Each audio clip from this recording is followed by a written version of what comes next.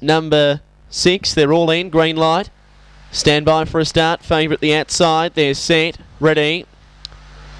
Racing, Jimmy Who stepped fairly from the outside, going out hard now to tackle Miss Marwin, and they're going to share the lead through on the inside Tambay Bale, and going off around them with a run Maserati Rev, followed by Sweet About Lola. It's getting an inside run to close, clear over Justice Day, Primal Biz, and about 10 away last Shintaro Warrior up to the home bend. In front Tambay Bale, tackled by Miss Marwin, winding up at them now Maserati Rev, Miss Marwin grabbing the inside Tambay Bale, and Tambay Bale arrives to beat Miss Marwin by a length. Winding up down the centre, Maserati Rev to pick up third and fourth a photo. It's between Sweet About Lola and Jimmy Who, who just won batted home.